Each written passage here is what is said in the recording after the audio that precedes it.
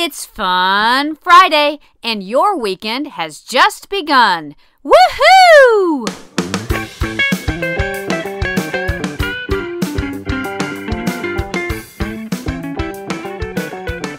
Welcome to the Morning Moxie Show. I am your host, Alicia Sharpe, and today is Fun Friday. And we have Michael Jr. coming to us today, talking to us about a lot of different stories and some fun stuff so that you can laugh out loud. Here's Michael Jr. So we're gonna have some fun. Um, my name is Michael Jr. I'm gonna do some jokes. Um, but they're not gonna start right away though. I just want to point that out. So, um, for me, comedy is like it's like dating somebody that you really, really like, you know. Um, and I don't want to rush this, you know. I used to do that. I used to come up on stage. I would do a joke right away, jump right in, you know. But but I got hurt, man. So. You know. And let's be honest, right? I'm sure you've seen a lot of comedians in your day.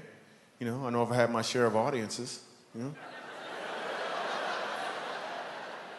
but it didn't last. So I just I want this to be different. So we're doing comedy at a church.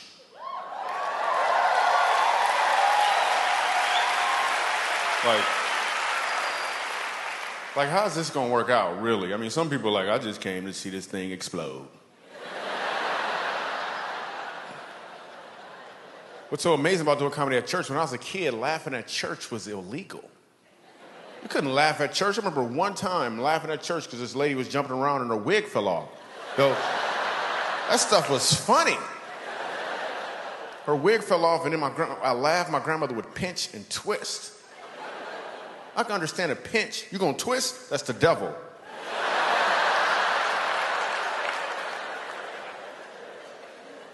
Church was the worst. Oh my goodness. Church lasts like six hours. Dude on stage is mad at everybody. I can't figure out why he's so angry. Seven years old, I figured out why he was so angry. He was angry because he had some phlegm caught in his throat. So at the end of every sentence, he'd try to get it out. He'd be like, The Lord said, act like you. I'm like, Grandma, he need to gargle, Grandma. I'm seven years old, man. Church lasts six hours, too. Then we go in the basement and eat a sandwich and come back up. I'm like, what was that, a halftime or something? Actually, I'm gonna be real with you. There's enough black people here. It was always chicken. Why we always gotta eat chicken? Every single time. I know, I, I had to tell them. I'm sorry, it was, we had church, you know? And tuna. At the end of church, they would ask us, they'd always be like, so you wanna go, after this, we all gonna go to the sister church. I don't even like the brother church. One time I get to church, seven years old, there's a dead body in the front. It's a funeral. Nobody explains that to a seven year old Michael Jr. I'm thinking that's how they roll. like every three weeks or so, they bring a dead body in as an example or something. And the dude on stage yell at everybody in the audience like they the ones that did it. I remember asking my grandmother, I'm looking for some explanation. I'm like, Grandma, what happened to the man in the box? What happened to the man in the box? Her whole explanation was, he in a better place. I'm like, what kind of box did he live in before?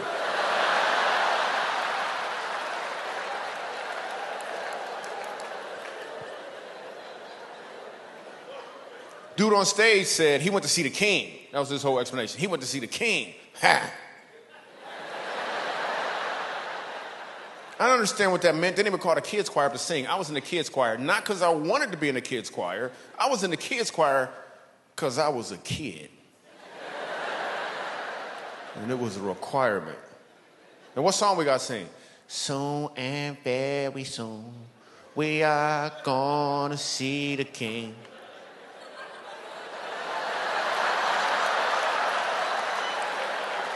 I don't want to see the king. I don't want to see the king.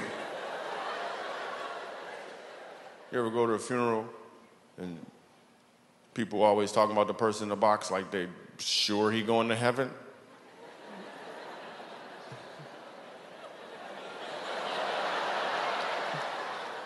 and then they tell you that, they, and then the people get up there, they always talking about him. And the last thing you know, like the dude stabbed three people and he never prayed one time in his life. And all of a sudden, everybody like he going to heaven. Like, I'm sure Uncle John is looking down at me right now, and he's a little tears going down his eye. I'm like, he probably looking up at you right now. Listen, that's a sweat bead, is what it is. A sweat bead rolling on.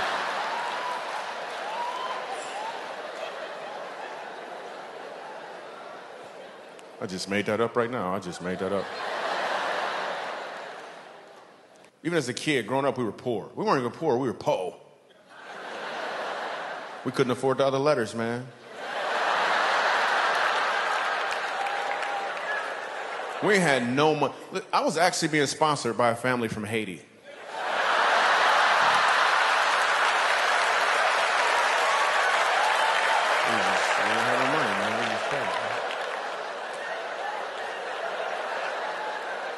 When you're poor, your creativity excels.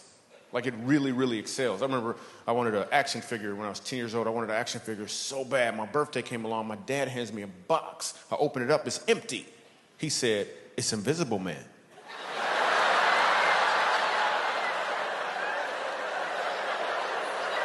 I was like, That is awesome. I played with that thing for like three weeks, man. So my brother hid it from me.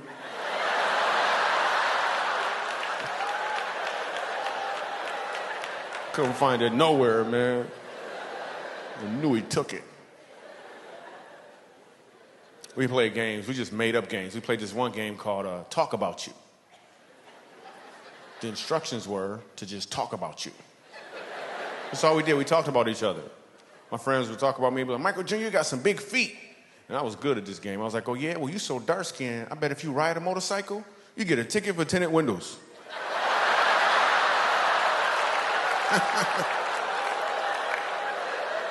it's hilarious. White people looking for black people, make sure they can laugh. Is it okay?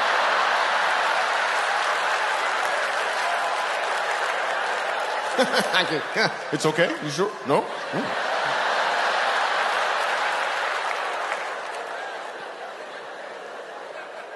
We ain't had no money, man. We had to, my parents would buy us some stuff, but they couldn't pay for everything. Like we had the game Operation, right? We ain't had no batteries. Then my cousin came over and he figured out a way how to plug it into the wall, right? It's a whole nother game now. Whole nother game. The Operation Roulette is what we called it. It was Operation Roulette.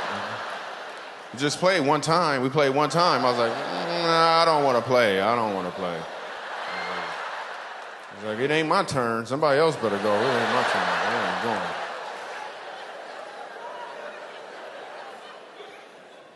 Actually, you know what? Um, I made that up. we weren't poor when I was a kid. I just said that because some jokes are funnier. Some jokes are funnier from a poor perspective. I'm gonna prove it. I'm gonna prove it right now. You always. Here's a great example. I'm gonna tell you the exact same joke from a prosperous perspective. Watch what happens. When I was a kid, my parents bought us the game Operation, um, and we played it. So. It's not as funny, is it? It's better if I was poor. So I'm excited. Me and my wife just had a new baby. Had a new baby. Yeah. Yeah. Well, that's how they come. It's new my wife wanted to go to the prenatal classes, right? And I'm like, why I gotta go to class? You pregnant? I pass. You know what I'm saying? like a teacher class or something. I don't know what you want me to but I went to the class because I love my wife, right? And I'm afraid that they're gonna play the video. I don't wanna watch the video. I'm looking for Bible verses against the video.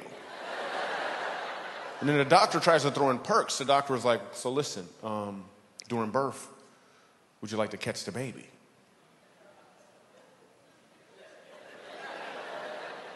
Catch the baby doing what? What are you talking about? I said, No, no, no, no, no. If you want to, you can catch the baby. I'm like, Isn't that your job to catch the baby?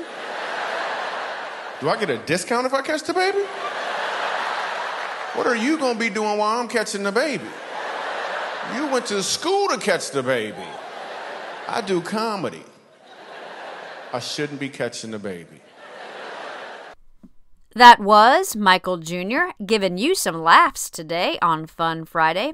And you can find that clip on YouTube if you search under Michael Jr. Laughing on Purpose. You can also find out more information about him and what he does and where he's going to be at his website, michaeljr.com. That is all I have for you today. I hope you have a wonderful weekend and that you go out and tell others about Jesus and what he's done for you. And I'd also love it if you take just a minute to rate and review this podcast on iTunes. That would be awesome. And share it with your friends if it's encouraged you. It's free, free encouragement, free laughs. Share it with your friends. Have a great day. I will see you again next time. God bless.